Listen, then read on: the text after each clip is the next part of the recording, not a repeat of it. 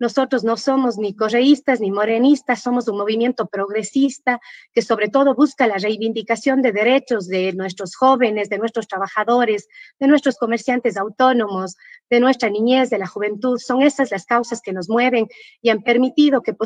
que militemos por muchos años dentro de la 35. En los últimos cuatro años, el bloque de Alianza País fue un bloque mayoritario en la Asamblea Nacional, que se fue desgranando por todas las acciones que hemos tenido. Pero también dentro de ese bloque mayoritario hemos tenido en Alianza País una gran cantidad de asambleístas corruptos. Daniel Mendoza eh, estaba en la 35 y vea dónde está. Estas son las cargas, Jorge, con las que la 35 este momento ha tenido que cargar,